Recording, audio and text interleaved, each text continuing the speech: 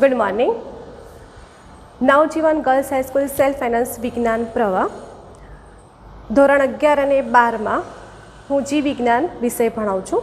મારું નામ છે સહ વૈશાલી. ધોરણ નવ અને દસમાં તમે જીવ વિજ્ઞાનનો અભ્યાસ કરીને આવ્યા છો.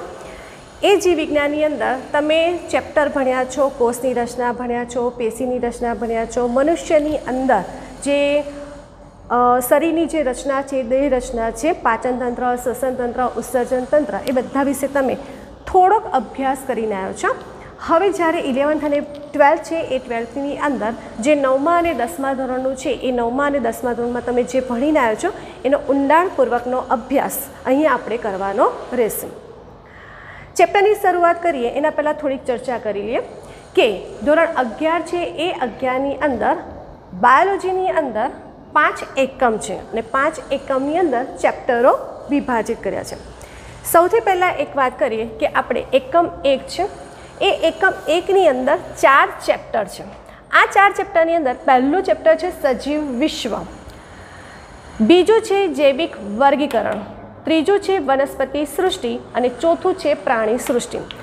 હું માનું તો આ બધા ચેપ્ટરોનો થોડોક ભાગ તમે ભણીને આવ્યા છો અને એનો વધારે ઊંડાણપૂર્વક આપણે અહીંયા અભ્યાસ કરો છો. એકમ એક છે સજીવોમાં વિવિધતા અને એને અનુલક્ષીને આપણે ચાર ચેપ્ટરનો અભ્યાસ કરીશું તો આપણું એકમ એક પૂર્ણ થાય છે. અહીંયા જ્યારે આપણે પહેલાં પ્રકરણની વાત કરીએ તો પહેલાં પ્રકરણનું નામ છે સજીવ વિશ્વ. એટલે કે આખું જે વિશ્વ છે એ વિશ્વ સજીવથી બનેલું છે. તો આપણને એક પ્રશ્ન થાય કે સજીવ જ છે પૃથ્વી પર? નિર્જીવ નથી તો ના. ત્યાં નિર્જીવ પણ છે. એટલે આખું વિશ્વ સજીવ અને નિર્જીવથી બનેલું છે. સજીવ એટલે કે જેની અંદર જીવ હોય, જેની અંદર દેહધાર્મિક ક્રિયાઓ, તેની અંદર ફિલિંગ્સ જે ક્રિયાઓ થઈ શકતી હોય એ બધાને આપણે સજીવ તરીકે ઓળખીશું. અને નિર્જીવ છે એ નિર્જીવની અંદર કોઈ જીવ, કોઈ ચૈતન્ય ન હોય તેને આપણે નિર્જીવ તરીકે ઓળખીશું. આપણા પૂર્વજો કહીએ આદિકાળથી જ આપણા સજીવ, મનુષ્ય છે. એ મનુષ્યને સજીવ અને નિર્જીવનો ભેદ ખબર હતી. તે નિર્જીવ એટલે પર્વતો છે, નદી છે, તળાવ છે, એ બધાનો ભેદ, સજીવ અને નિર્જીવનો ભેદ એમને ખબર હતી. તે ઉપરાંત તે સમયે નિર્જીવ વસ્તુઓ, પર્વતો છે, નદી છે, એનો, એ લોકો પૂજા, એ લોકો પૂજા કરતા હતા. એટલે નિર્જીવ વસ્તુનો પણ તે પૂજા કરતા હતા. કારણ કે તે વખતે એમને એક ડર, ડરની ભાવના હતી અને એ કારણે તે નિર્જીવની પૂજા પણ કરતા હતા. ધીરે ધીરે અભ્યાસ થતો ગયો અને મનુષ્યની સમજને કારણે આજે સજીવ અને નિર્જીવ વચ્ચેનો જે ભેદ જે સમજ છે એ અહીંયા આપણે થોડું ક્લિયર કરવાનું છે. સજીવ શું છે? પહેલાં આપણને એક પ્રશ્ન થાય કે તમે સજીવ કેવી રીતે કહી શકો? સજીવ શેનો બનેલો છે? તો આપણા બધાને ખબર છે કે આપણે મનુષ્ય, પ્રાણી છે, વનસ્પતિ છે, એ બધા જ સજીવો છે. અને એ બધા સજીવો કોષમાંથી ઉત્પન્ન થયા છે. એક જ કોષમાંથી તેનું નિર્માણ થયું છે. આપણને એ પણ ખબર છે કે કોષ છે એ કોષ પાસે એ ગુણધર્મ છે વિભાજનનો. કોષ છે એ કોષ વિભાજન પામી તેની સંખ્યામાં વધારો કરે છે. જેના વિશે આપણે અહીંયા ભણીશું. લખ્યું છે કદ અને સંખ્યામાં વધારો. ત્યારે એ શબ્દ સમજવા માટે મને થોડુંક સમજાવવું પડે કે કઈ રીતે છે. તો કોષ છે એ કોષ વિભાજનનો ગુણધર્મ ધરાવે છે. વિભાજન પામી તેની સંખ્યામાં વધારો કરે છે. સંખ્યામાં વધારો કરે છે તે ઉપરાંત તેના કદમાં પણ વધારો કરે છે. કદમાં વધારો કરે છે. કોષો છે એ કોષો ભેગા થઈ, કોષો છે એ કોષોના સમૂહ ભેગા થઈ પેશીનું નિર્માણ કરે છે. પેશી પેશી ભેગી થઈ અંગનું નિર્માણ કરે છે. અંગ અંગ ભેગા થઈને અંગતંત્રનું નિર્માણ કરે છે અને અંગતંત્રથી એક સજીવ, એક શરીરનું નિર્માણ થતું જોવા મળે છે. આ બધો જ અભ્યાસ તમે કરીને આવ્યા છો. તો આપણને કદાચ થોડુંક સમજાવવું હોય તો કોષ કોષ ભેગા થઈ, પેશી પેશી ભેગી થઈને અંગ અંગ ભેગા થઈને અંગતંત્ર અને અંગતંત્રથી શરીરનું નિર્માણ થાય છે. તમે આઠમા, નવમા ધોરણમાં તમને ભણાઈ ચૂક્યા છે કે કોષની સરખામણી એમને ઈંટ સાથે કરી. ઘરની જે ઈંટ છે એની સાથે કરી છે. અને ઈંટ ઈંટ ઈંટ ભેગી થાય ત્યારે એમને એક દિવાલ તૈયાર થાય છે.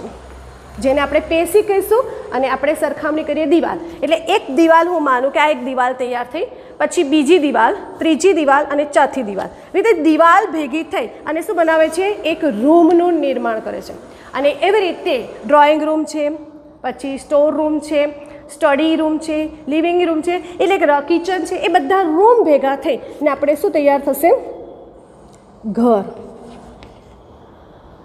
નું નિર્માણ થાય છે. તો આ રીતે એક સિમ્પલ ઉદાહરણ તમે ભણીને જ આવ્યા છો કે ઈંટ છે એ ઈંટ એટલે ઈંટ વગર ઘરનું નિર્માણ ના થાય. એવી રીતે શરીરનું નિર્માણ કોષ વગર ના થાય. એટલે કોષ હશે તો જ આપણા શરીરનું નિર્માણ થયું છે. એટલા માટે કોષને શરીરનો રચનાત્મક અને ક્રિયાત્મક એકમ કહેવામાં આવ્યો છે. ને આ જ કોષે એ કોષની સંખ્યામાં વધારો થાય, કદમાં વધારો થાય અને કોષની સંખ્યામાં વધતા જશે એટલે એમને આપણી શું થશે? વૃદ્ધિ થશે. અને એ વૃદ્ધિનો ટોપિક જ્યારે હું ભણાવીશ ત્યારે તે વખતે તમારો ક્લિયર કોન્સેપ્ટ ક્લિયર હોવો જોઈએ કે કઈ રીતે કોષોની સંખ્યામાં વધારો થાય છે, જે આપણે આગળ ભણી ચૂક્યા છે. એને અનુલક્ષીને આપણે સજીવ છે એ સજીવ. નું નિર્માણ થયું. તો આ જે સજીવ છે, એ પ્રશ્ન એ થાય કે સજીવ ક્યાં છે? તો આપણા બધાને ખબર છે કે સજીવ તો બધે જ જોવા મળે. સજીવ નદી તળાવમાં પણ છે, ઊંચા પર્વતો પર પણ છે. ગરમ પાણીના જરા એટલે જ્યાં ગરમ ઉકળતું પાણી હોય ને, ત્યાં ગરમ પાણીમાં પણ સજીવ જીવે છે. ઠંડા પાણી, મીઠા પાણીના જળાશય પછી દરિયાઈ જળમાં જોવા મળશે જંગલોમાં પણ જીવ જોવા મળે છે. એટલે સજીવ તો બધે જોવા મળશે. અને એને અનુલક્ષીને તમારા ચેપ્ટરની અંદર થોડાક ઉદાહરણ આપ્યા છે. એ ઉદાહરણોને આપણે જોઈશું.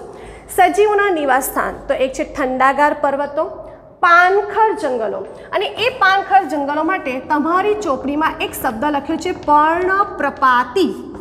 આ શબ્દ જરા ધ્યાનથી સમજો પાનખર જંગલો એટલે કે પર્ણપ્રપાતી જંગલો તરીકે ઓળખવામાં આવે છે. મહાસાગરો, મીઠા પાણીના જળાશય, રણ, ગરમ પાણીના જરા, એના સિવાય પણ ઘણી જગ્યાએ સજીવોના નિવાસ સ્થાન છે.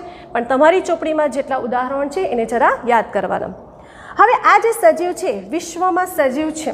તો આ સજીવ શું? આપણને સુંદરતાનો અનુભવ કરાવે છે.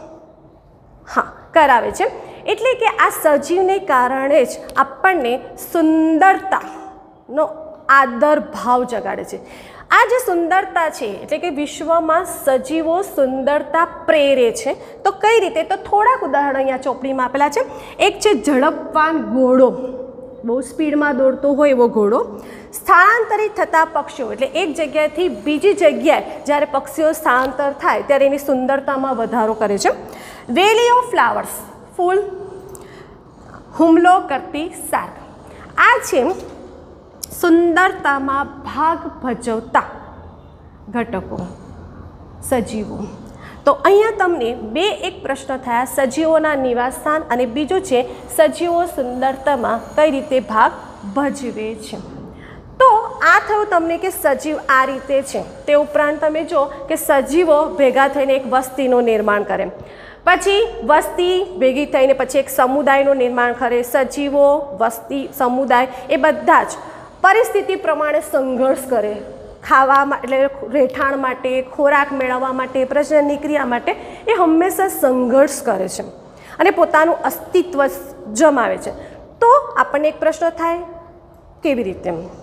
બીજું આપણે કોષ, હમણાં જ મેં તમને વાત કરી કે એક એક કોષ અને એક કોષમાંથી સંપૂર્ણ સજીવ શરીરનું નિર્માણ કેવી રીતે થાય છે? એટલે કે આ કોષની અંદર કયા કયા ઘટકો છે એ આપણને અદ્ભુત આમ પ્રેરણા જગાડે છે કે આની અંદર શું હશે? એટલે અહીંયા આપણને કોષ, કોષની રચના, કોષની અંદર કયા કયા ભાગ છે? તમે ભણી રહ્યા છો, કોષમાં કોષ કેન્દ્ર છે કોષ રસ. છે પછી તમે બધી અંગિકાઓ પણ ભણીને આવ્યા છો. કર્ણાપસૂત્ર ગોલકીકાય કાય અંતકોષ રસજાળ રિબોઝોમ, તારા કેન્દ્ર, પક્ષમ, બધું ભણીને આવ્યા છો. એનું વધારે ડિટેલ્સ અહીંયા આપણે અગિયારમામાં ભણવાનું છે. તો આપણને ઘણા બધા પ્રશ્નો ઉદ્ભવે છે કે એ કોષમાંથી, એ કોષની અંદર કેવી રચના હશે? તો આપણા એક જીવનું નિર્માણ થશે. એના વિશે આપણને પ્રેરણા જગાડે છે. અને એને અનુલક્ષીને આપણને ઘણા બધા પ્રશ્નો ઊભા થાય છે. અને અહીંયા આપણી સામે બે ગર્ભિત પ્રશ્નો ઊભા થયા છે. એક પ્રશ્ન થયો છે પ્રાદ્યોગિક પ્રશ્ન. એટલે એક ટેકનિકલી પ્રશ્ન ઉદ્ભવ થયો છે કે જે નિર્જીવની વિરુદ્ધમાં સજીવ શું છે? એનો જવાબ માંગે છે. નિર્જીવની વિરુદ્ધમાં સજીવ શું છે એનો જવાબ માંગે છે. બીજું છે તત્વજ્ઞાન ફિલોસોફિકલ જીવનનો હેતુ શું છે એનો જવાબ માંગે છે. તો આપણી પાસે બે પ્રશ્નો ઊભા થયા. પ્રાદ્યોગિક પ્રશ્ન અને એક તત્વજ્ઞાન. તો જ્યારે જીવ વિજ્ઞાન ભણીએ છીએ, ત્યારે આપણે તત્વજ્ઞાનનો જે પ્રશ્ન છે એનો જવાબ આપતા નથી. કે જીવનનો હેતુ શું છે એ એક તત્વજ્ઞાનની દ્રષ્ટિએ જવાબ આપશે. આપણે જ્યારે જીવ વિજ્ઞાનનો અભ્યાસ કરીશું તો આપણને આ પ્રશ્નનો જવાબ આપવાનો છે. પ્રાદ્યોગિક પ્રશ્ન કે નિર્જીવની વિરુદ્ધમાં સજીવ શું છે એના વિશે આપણે અહીંયા ચર્ચા કરવાની રહેશે. તો સજીવ શું છે? તો તમે કેવી રીતે કહી શકો કે આ સજીવ છે ને આ નિર્જીવ છે? ટેબલ છે એ ટેબલ. સજીવ છે કે નિર્જીવ? તો તમને થાય કે નિર્જીવ છે. તો સજીવના કયા લક્ષણો છો? લક્ષણો છે તો તમે કહી શકો કે એ સજીવ છે. તો સજીવ પાસે કેટલાક લક્ષણો છે. એક તો સજીવ વૃદ્ધિ પામે છે. બીજું ચયાપચયની ક્રિયા કરે. પ્રજનનની ક્રિયા કરે. એનામાં પર્યાવરણ પ્રત્યેની સભાનતા છે. એટલે પર્યાવરણ ચેન્જ થાય એના પ્રત્યે એ સભાન છે. સ્વયં જનન પામવાની ક્ષમતા, સ્વયં જનન પામવાની ક્ષમતા એટલે પોતાનામાંથી જ નવા દેહનું અથવા નવા સજીવનું નિર્માણ કરવાનું. સ્વ આયોજન, પોતાની રીતે એ આયોજન કરી શકે છે. પરસ્પર આકર્ષણ અને એકબીજા પર પ્રવાહ આવા જો લક્ષણો હોય તો આપણે કહી શકીએ કે તે સજીવ છે. ને આ રીતે સજીવ શું છે અને તેના કયા લક્ષણો છે?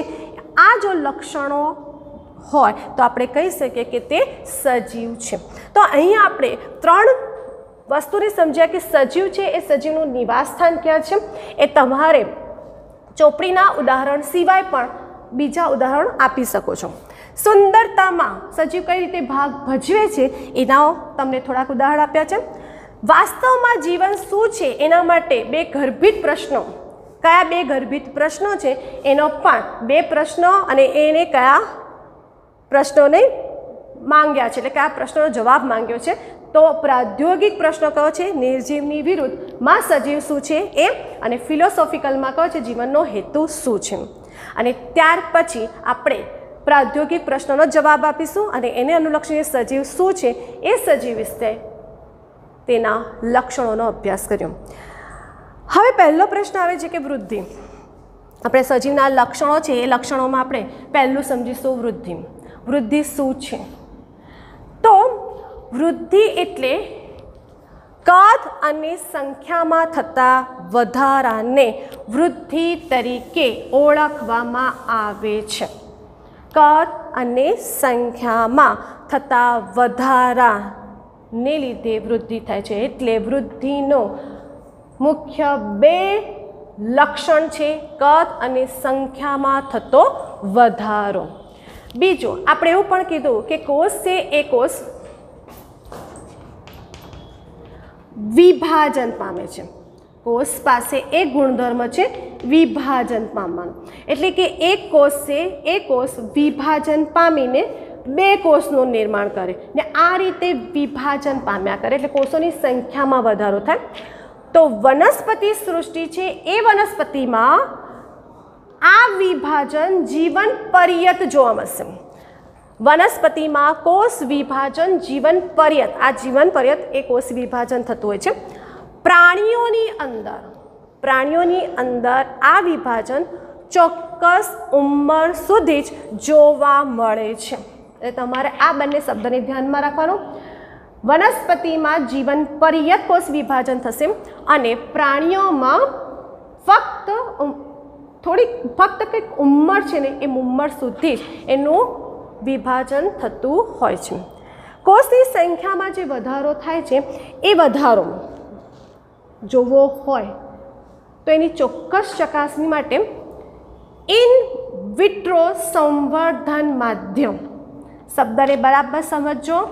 ઇન વિટ્રો સંવર્ધન માધ્યમમાં કોષની સંખ્યાની ગણતરી માઇક્રોસ્કોપમાં કરવામાં આવે છે. એટલે કોષની સંખ્યાની ગણતરી ક્યાં કરવામાં આવે છે? તો ઇન વિટ્રો માધ્યમમાં કોષની સંખ્યાની ગણતરી કરવામાં આવે છે. તો આપણને એવું થાય કે સજીવ એકલો જ વૃદ્ધિ પામે છે? નિર્જીવ નથી પામતો? આપણે એવું કીધું કે કોષ છે એ કોષ વિભાજન પામી સંખ્યામાં વધારો થાય અને એની શું થાય? વૃદ્ધિ વધે છે. તો નિર્જીવમાં પણ વૃદ્ધિ થાય છે. જોઈએ, પર્વત છે, અહીંયા નિર્જીવ પદાર્થના કેટલાક ઉદાહરણ આપેલા છે. શિલાખંડો, રેતીના ઢગલાઓ, પર્વતો. ત્યાં તેના કદમાં વૃદ્ધિ થાય છે. એટલે તેની સંખ્યામાં વધારો થાય છે. તો શું નિર્જીવમાં વૃદ્ધિ થાય છે? તેના ઉદાહરણ આપ્યા છે કે શિલાખંડો, રેતીના ઢગલાઓ અને પર્વતો છે, એની ઊંચાઈમાં વધારો થાય છે. તો શું એ વૃદ્ધિ છે? એટલે આ વૃદ્ધિ નિર્જીવમાં પણ જોવા મળે છે. તો કેવી રીતે થાય છે? તો અહીંયા લખ્યું છે, નિર્જીવ પદાર્થમાં ધ્યાન રાખજો, નિર્જીવ પદાર્થમાં તેમની સપાટી પર થતા દ્રવ્યના સંચય દ્વારા વૃદ્ધિ થાય છે. એટલે સજીવમાં તો વૃદ્ધિ થાય છે, નિર્જીવમાં પણ વૃદ્ધિ થાય છે અને એ નિર્જીવમાં વૃદ્ધિ કોઈ રીતે થાય છે કે તેમની સપાટી પર જે દ્રવ્યનો સંચય થયો છે, એના દ્વારા વૃદ્ધિ થતી જોવા મળે છે. ને આ રીતે ઘણા બધા પ્રશ્નોનો જવાબ મળ્યો અને આ જે વૃદ્ધિ છે, એ વૃદ્ધિ સજીવનું પૂર્ણ લક્ષણ નથી. ઘણા બધા તર્ક વિતર્ક કર્યા અને ત્યારે એવું કીધું કે વૃદ્ધિ એ સજીવનું પૂર્ણ લક્ષણ નથી. અને એમ વૃદ્ધિ સજીવ તંત્રનું લક્ષણ છે એ સાબિત કર્યું. બીજો પ્રશ્ન આવે છે પ્રજનન. પ્રજનનની વાત કરીએ, તો પ્રજનન એટલે સજીવ પોતાના જીવનકાળ દરમિયાન પ્રજનનની ક્રિયા કરી પોતાનો વંશવેલો આગળ વધારે છે. એટલે પોતાનામાંથી નવા જીવનું નિર્માણ કરે છે. ને આ જે પ્રજનન છે, એ પ્રજનન પણ તમે ભણીને આવ્યા છો કે પ્રજનન બે પ્રકારના છે. એક અલિંગી પ્રજનન અને એક લિંગી પ્રજનન. અલિંગી પ્રજનન એટલે તેના માટે કોઈ જન્યુની આવશ્યકતા નથી, કે નર જન્યુ કે માદા જન્યુની આવશ્યકતા નથી. એટલે પોતાનામાંથી જ નવા જીવનું નિર્માણ કરવું, એટલે એ એક અલિંગી પ્રજનન છે. લિંગી પ્રજનન છે, એ લિંગી પ્રજનમાં બે જન્યુની આવશ્યકતા છે, નરજન્યુ અને માદાજન્યુ. અને નરજન્યુ અને માદાજન્યુના જોડાણથી જ પ્રજનનની ક્રિયા થઈ, નવા સંતતિનું સર્જન થાય છે. તો એને અનુલક્ષીને આપણે અલિંગી પ્રજનની વાત કરીએ. તો કોણી કોણી અંદર અલિંગી પ્રજનન થતું જોવા મળે છે. ફૂગ. ફૂગની અંદર અલિંગી બીજાણુ, જે સ્પોર છે, એ બીજાણુ બહુગુણિત પામે છે અને તેની સંખ્યામાં વધારો કરે છે. ઈસ્ટ હાઇડ્રા હાઇડ્રાનું બીજું નામ છે જળવ્યા એ કલિકા સર્જન દ્વારા પ્રજનની ક્રિયા કરે છે. હવે આ જે પ્રજનન છે, એ પ્રજનનના જે પ્રકાર છે, અલિંગી પ્રજનનના પ્રકાર, એ આગલા ધોરણમાં, એટલે બારમા ધોરણમાં આપણે તેનું વધારે ઊંડાણપૂર્વક અભ્યાસ કરીશું. ફક્ત એને થોડાક શબ્દ સમજાયું કે એ કલિકા સર્જમ. તો શું છે કે હાઇડ્રા છે? આ જે હાઇડ્રા છે, એ હાઇડ્રા, એ હાઇડ્રાની અંદર તેના શરીરની બહાર કોષો વિભાજન પામે. કોષો વિભાજન પામે સંખ્યામાં વધારો થાય અને આ રીતે એક બાળ હાઇડ્રાનું નિર્માણ થાય. આ કલિકાનું, એટલે કે એ બાહ્ય કલિકાનું નિર્માણ કરે. થોડાક સમય પછી તે પિતૃદેહથી છૂટી પડે. એટલે આ અહીંથી છૂટી પડી ગઈ અને એ સ્વતંત્ર પ્રાણી તરીકે અસ્તિત્વ ધરાવે છે. તો આ રીતે હાઇડ્રાની અંદર બાહ્ય કલિકાનું સર્જન થાય છે. અને નવા દેહનું નિર્માણ થાય છે. ઈષ્ટમાં પણ આ ઈષ્ટ છે, એની અંદર બાહ્ય કલિકાનું સર્જન થાય, એ પિતૃદેહથી છૂટી પડી જાય અને નવા દેહનું સર્જન થાય. Plane area. પ્લેન એરિયા છે, એ પ્લેન એરિયાની અંદર પણ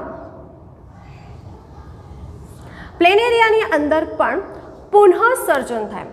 પ્લેન એરિયાની અંદર જો પ્લેન એરિયાના ઘણા બધા આપણે ટુકડા કરી નાખીએ, એના શરીરના ટુકડા કરી નાખીએ, તો એ શરીરમાંથી પણ શરીરના જે ટુકડા છે, એ ટુકડામાંથી પણ નવા દેહનું સર્જન થાય. એટલે પ્લેન એરિયા છે, એ પ્લેન એરિયામાં પુનઃ સર્જન ક્ષમતા જોવા મળે છે. સેમ ફૂગ, તંતુમય લીલ અને મોસના પ્રતંતુ, તેમાં અવખંડન જોવા મળે. જેવી રીતે હમણાં મેં પ્લેન એરિયાનું કીધું, એવી રીતે અવખંડન છે. તેની અંદર શરીર છે એ શરીરના ઘણા ટુકડા થાય અને આ દરેક ટુકડો, દરેક ટુકડામાંથી નવા દેહનું સર્જન થાય. એને અવખંડન તરીકે ઓળખવામાં આવે છે. તો આ રીતે આપણે અલિંગી પ્રજનની વાત કરી. તે ઉપરાંત બેક્ટેરિયા છે, અમીબા છે, એક કોષીય લીલ છે. બેક્ટેરિયા, અમીબા અને એક કોષીય લીલ છે. આની અંદર અમીબા છે, બરાબર છે? અને આ અમીબા છે, એની અંદર પ્રજનનની ક્રિયા થાય. એટલે એકમાંથી બે દેહનું, બે અમીબાનું નિર્માણ થાય. તો આ પ્રજનનની ક્રિયાને વૃદ્ધિ સાથે સરખામણી કરવામાં આવે છે. એટલે કે એક કોષીય સજીવ છે ને, એ એક કોષીય સજીવમાં પ્રજનન અને વૃદ્ધિ કેવી રીતે થાય છે એનો ક્લિયર કોન્સેપ્ટ હજુ થયો નથી. પણ એટલું કહેવાય છે કે સજીવો છે એ સજીવો પ્રજનનની ક્રિયા દ્વારા નવા સજીવનું નિર્માણ કરે છે. વંધ્ય પ્રાણી હોય, વંધ્ય, એટલે કે સંતતિનું નિર્માણ ન કરી શકે. વંધ્ય પ્રાણી પણ હોય વંધ્ય યુગલ, એટલે કે મનુષ્ય છે. એટલે કે વંધ્ય કોને કહેવાય? કે જે સંતત જે દંપતી સંતતિનું નિર્માણ ન કરી શકતા હોય, તેને વંધ્ય તરીકે ઓળખવામાં આવે છે. અને એ વંધ્ય પ્રાણીઓ પ્રજનની ક્રિયા દ્વારા સંતતિનું નિર્માણ કરી શકતા નથી. તો એને અનુલક્ષીને અહીંયા જે પ્રજનન છે, એ પ્રજનનનો ટોપિક પણ અહીંયા પૂરો થયો. અલિંગી પ્રજન અને લિંગી પ્રજન આ થોડીક સમજ છે, થોડાક ઉદાહરણ છે. એનો વિસ્તૃત અભ્યાસ, અલિંગી પ્રજન અને લિંગી પ્રજનનો વિસ્તૃત અભ્યાસ આપણે આગલા ચેપ્ટરોમાં કરીશું અને આગલા ધોરણમાં તેનો અભ્યાસ કરીશું. તો અહીંયા જે આજે જે ફર્સ્ટ લેક્ચર છે, એ ફર્સ્ટ લેક્ચરમાં સજીવ વિશેની થોડીક માહિતી મેળવી. સજીવનું નિવાસ સ્થાન, તેની સુંદરતા કઈ રીતે છે? સજીવ વાસ્તવમાં શું છે એના માટે જે પ્રશ્નો ઊભા થયા, સજીવના લક્ષણો અને એ લક્ષણો ઘણા બધા છે એનામાં ફક્ત આપણે બે જ લક્ષણોની ચર્ચા કરી. પહેલું, આ જે ચેપ્ટર છે એ ચેપ્ટર કદાચ તમને એવું લાગે કે ઇઝી છે અથવા તો કંટાળાજનક છે, પણ આ ચેપ્ટરનું મહત્ત્વ નીટ માટે ઘણું જ જરૂરી છે. એટલે આ ચેપ્ટરને તમારે બરાબર સમજવાનો અને તૈયારી કરવાની.